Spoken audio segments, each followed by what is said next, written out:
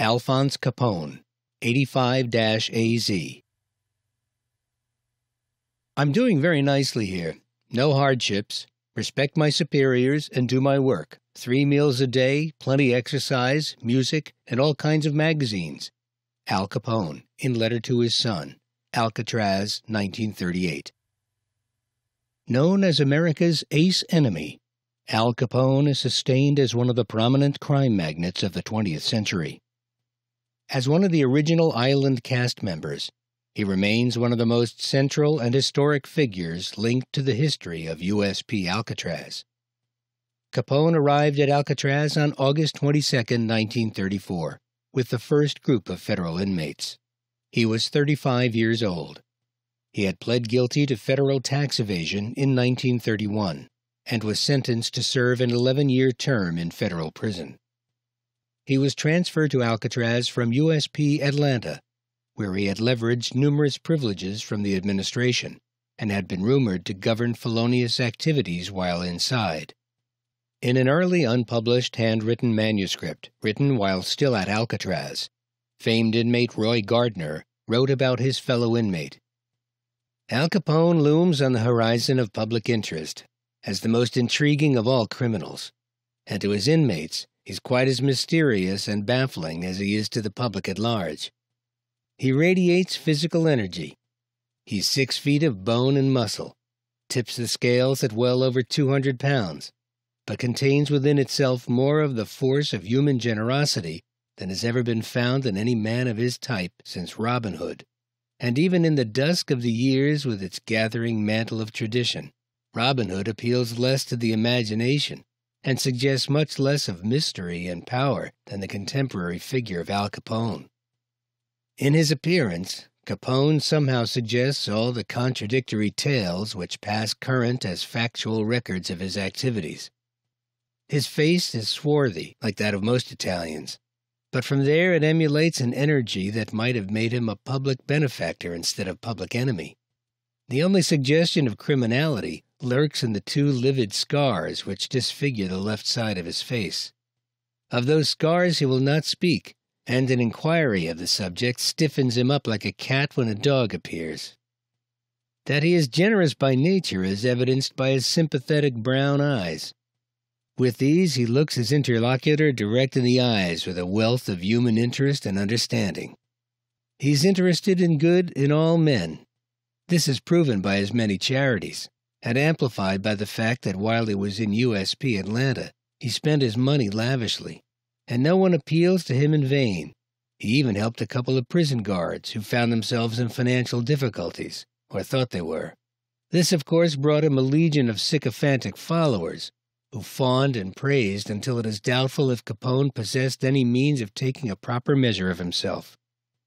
At Alcatraz, his money is useless, for there is no way that in which he can spend it on anyone, not even on himself. The result is that the energy of the fawners and moochers goes into reverse and expresses itself in petty jealousy and hatred. The big shots who formerly respected and courted him because of their fear of the power he wielded or from their desire to share that power, now have him severely alone, but keep their distance because they fear his physical strength. Capone has proven himself to be a dangerous antagonist in hand to hand combat because he is a vicious slugger and he always fights to win. There is none of the compromiser in his makeup, and for his enemy he has neither compassion nor respect. In 1936, a man by the name of Lucas stabbed Capone in the back with a pair of barber scissors. Capone had a banjo in his hands at the time, and what a weapon it proved to be. In less than ten seconds, both Lucas and the banjo were total wrecks. From then on, Capone had no more trouble with Lucas, because he made it his business to stay out of reach of the Chicago gangster. Although convicted of income tax evasion, Capone is in fact serving time for murder. Scandal mania and police records credit him with having had at least 30 men put on the spot. And if that be true, it is no mean accomplishment from the standpoint of human adaptability. For as fiendish as the record seems to be, it is also true that men who commit murders for pay are not easy individuals to handle. They are everything that is repulsive in a normal man. weak, sniveling cowards in human form, and the most difficult of all human rates to handle or deal with. Consider then the staggering amount of ability that would be necessary to hold in line a dozen or more depraved killers who were living in the shadow of the gallows on account of carrying out the orders of their chief. Capone denies any and all knowledge of the murders, or the reasons for the commission. But since those deaths all came at a time and under conditions that would serve the cause of his widespread operations in liquor and gambling, and further because of he is such a commanding figure, it is difficult to regard his protestations of ignorance of the manner and reasons for the deaths as justified. But to a man who knows criminals of a type who could be hired to commit murder, it is quite as difficult to conceive of any man possessing sufficient authority to hold mad dogs of that kind in check. Accordingly, whether the murders were committed upon the orders of Capone or not, he is revealed as a master of men. History has recorded the criminal accomplishments of such few men. One of the funniest things I ever saw was when Capone assumed a condescending attitude toward Warden Johnston. At first, the warden registered amazement, and then developed into a slow burn like Edgar Kennedy in moving pictures. Ordinarily, the warden's voice is soft and pleasant, but when he tried to answer Capone, his voice sounded like cackle from a parched throat.